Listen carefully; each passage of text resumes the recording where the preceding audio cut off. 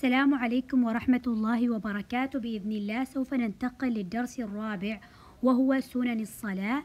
إني وجهت وجهي للذي فطر السماوات والأرض حنيفا وما أنا من المشركين.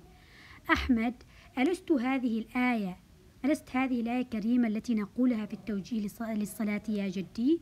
الجد بلى يا أحمد وهو ما حكاه الله على خليله إبراهيم عليه السلام ويستحب أن يقرآن هذا التوجيه بتوجيه سيدنا محمد صلى الله عليه وسلم وهو سنة واظب عليها الرسول صلى الله عليه وسلم أحمد وفي هذا الحال آه، نسيانه يا جدي ماذا علي؟ طبعا إذا نسينا سنة ومن سنن الصلاة التي تجاوزت مواضيعها وأيضا آه، لا تبطل صلاة آه، صلاته وإنما تؤمر بسجود آه، سجدتي سهو بعد التسليم طبعا وهنا يظهر لك الفارق بينها وبين الأركان من سنن الصلاة يا جدي حتى أحافظ عليها سأعطيك أدلة عليها من القرآن الكريم والسنة المطهرة وعليك استخراجها. طبعا سنن الصلاة أعمال أقوال وأفعال مخصوصة في الصلاة واظب الرسول صلى الله عليه وسلم على الإتيان بها ولست بأركانها. طبعا هنا لدينا في النصوص الشرعية سنن الصلاة لدينا في الآية الأولى ما المقصود بالآية الأولى؟ المقصود بالآية الأولى هنا هي ماذا؟ ما المقصود بالآية الأولى؟ طبعا آه، هنا لدينا تدل على الاستغفار الاستعاذة آه، عفوا الاستعاذة هنا. الاستعاذة. هنا فاستعذ فتعني الاستعاذة. أما في الآية الثالثة فعندنا هنا رأيت الرسول صلى الله عليه وسلم يكبر يكبر. فهنا تكبير. فهنا ماذا؟ تكبير. كذلك فسبح باسم ربك. فهنا ماذا؟ التسبيح في الركوع والسجود. في الآية الخامسة لدينا آه، عندنا هنا التشهد. قام من اثنين. طبعا هنا التشهد الأول. التشهد الأول. وهنا الصلاة على النبي. وهنا الصلاة على النبي. الآن ننتقل للموقف والحكم والنصيحة. طبعا نسى تكبيرة الإحرام وتذكرها بعد التسليم. طبعا هنا ماذا؟ صلاته باطلة والنصيحة يعيد الصلاة. يعيد الصلاة.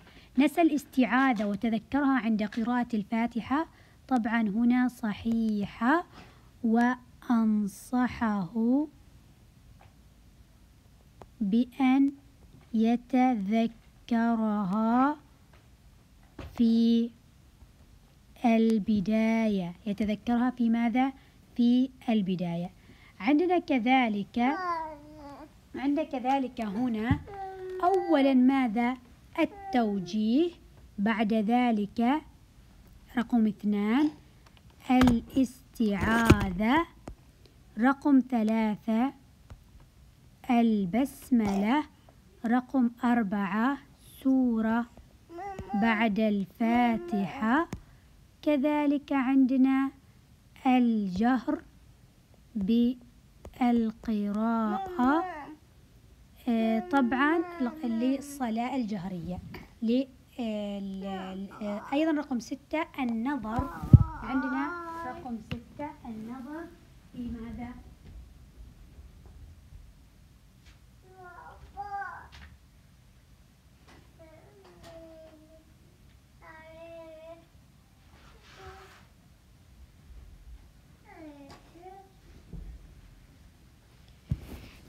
عفوا. عندنا هنا رقم آه، بعد الجهر بالقراءة في الصلاة الجهرية. رقم ستة النظر إلى مواضع السجود. النظر إلى مواضع السجود. النظر إلى مواضع السجود. وعندنا رقم سبعة الدعاء بعد التحميد الدعاء بعد التحميد. عندنا أركان الصلاة. طبعا هنا تبطل الصلاة. طبعا هنا لا يبطل الصلاة. هنا كذلك تبطل الصلاة. وهنا لا يبطل الصلاة. وهنا لا يبطل